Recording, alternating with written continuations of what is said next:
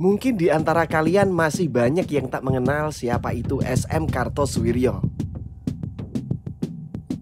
Dia adalah pelaku makar yang ingin menjadikan Indonesia menjadi negara Islam untuk pertama kalinya. Sepanjang hidupnya, SM Kartosuwiryo mendalami ilmu politik dan agama secara bersamaan dengan tujuan yang jahat, yaitu ingin menjadi pemimpin Indonesia dengan konsep negara Islam State. Jadi sangat menarik untuk membahas latar belakang SM Kartosuwiryo, cara SM Kartosuwiryo menyebarkan dogmanya, cara pemerintah melawan Kartosuwiryo, dan kematian tragisnya. Sebelum lanjut videonya, mari klik subscribe-nya dan nyalakan notifikasinya. Kita mulai dari pertama, mengenai latar belakangnya. SM Kartosuwiryo lahir pada tahun 1905 di Kabupaten Cepu, Provinsi Jawa Tengah. Semasa kecilnya, SM Kartosuwiryo mendapatkan privilege dari keluarganya yang cukup terpandang. Sehingga pada umur 8 tahun, ia berkesempatan masuk ke sekolah Irland School der Tweede Class atau ISTK. Di mana sekolah tersebut merupakan sekolah nomor 2 bagi kalangan bumi putra saat itu. Empat tahun kemudian, Kartosuwiryo masuk ELS, sekolah untuk orang Eropa di zaman Hindia Belanda. Untuk masuk ke ELS sendiri tidak sembarangan orang bisa. Hanya mereka yang punya kecerdasan di atas rata-rata yang diterima. Jadi bisa disimpulkan kalau SM Kartosuwiryo adalah anak yang cerdas. Di sekolah inilah Kartosuwiryo bertemu dengan guru rohaninya bernama Noto Diharjo. Noto Diarjo merupakan tokoh Islam modern yang mengikuti alur pemikiran Muhammadiyah. Dia menanamkan pemikiran Islam modern ke dalam alam pemikiran Kartosuwiryo. Pemikiran Noto Diarjo ini sangat mempengaruhi sikap Kartosuwiryo dalam meresponi ajaran-ajaran Islam hingga ia tumbuh dewasa. Pada usia 18 tahun, Kartosuwiryo memutuskan untuk kuliah jurusan kedokteran di perguruan tinggi Hindia Belanda Arts School di kampus ini, ia bergabung dengan organisasi syariat Islam yang dipimpin oleh Cokro Aminoto.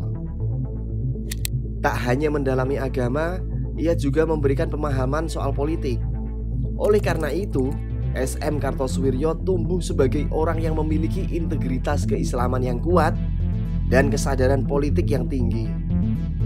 Jadi kalau ditanya siapa yang mempengaruhi pemikiran SM Kartosuwiryo dalam hal agama dan politik, jawabannya ada dua, yaitu Noto Diarjo, guru rohani semasa remajanya dan Cokro Aminoto, mentornya saat kuliah.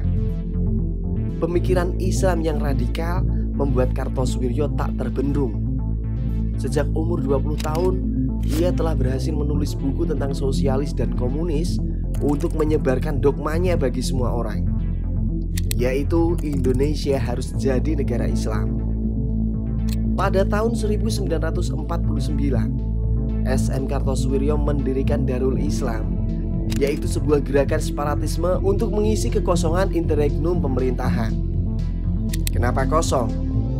Karena saat itu Indonesia baru saja merdeka. Untuk lebih memperjelas tujuannya, SM Kartosuwiryo menambah DINII yang artinya Darul Islam atau Negara Islam Indonesia. Sejak itulah dia dicap sebagai pelaku makar alias pemberontak NKRI oleh IR Soekarno. Demi memperluas pengaruhnya, Kartosuwiryo bergabung dengan Partai Syarikat Islam Indonesia atau PSII. Setelah memiliki kekuatan di partai politik, Kartosuwiryo makin keras terhadap pemerintah pusat. Tak mau terus bermusuhan, Amir Syarifuddin yang menjabat sebagai Perdana Menteri Indonesia saat itu mengajaknya berdamai dan bergabung ke dalam pemerintahan yang menawarkan kursi menteri kepada Kartosuwiryo. Namun tawaran itu ditolaknya. Beginilah pesan yang disampaikan oleh Amir. Wes Thomas, milio menteri opo wae asal ojo menteri pertahanan utawa menteri dalam negeri. Sudahlah mas, pilih jadi menteri apa saja tetapi jangan Menteri Pertahanan atau Menteri Dalam Negeri. Kartosuwiryo kemudian membalas, "Tidak mau kalau dasar negara bukan Islam." Setelah menolak tawaran pemerintah, Kartosuwiryo semakin gencar menyebarkan NII.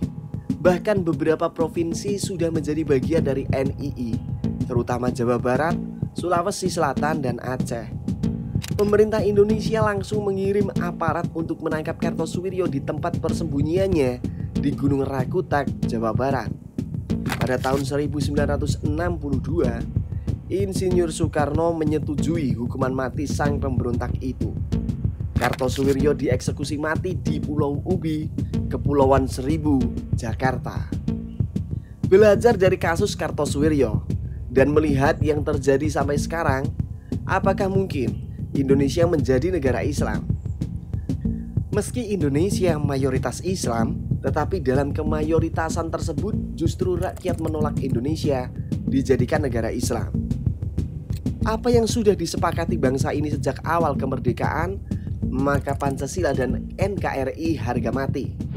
Kira-kira bagaimana menurut kalian? Tulis di kolom komentar and see you next video. Bye bye.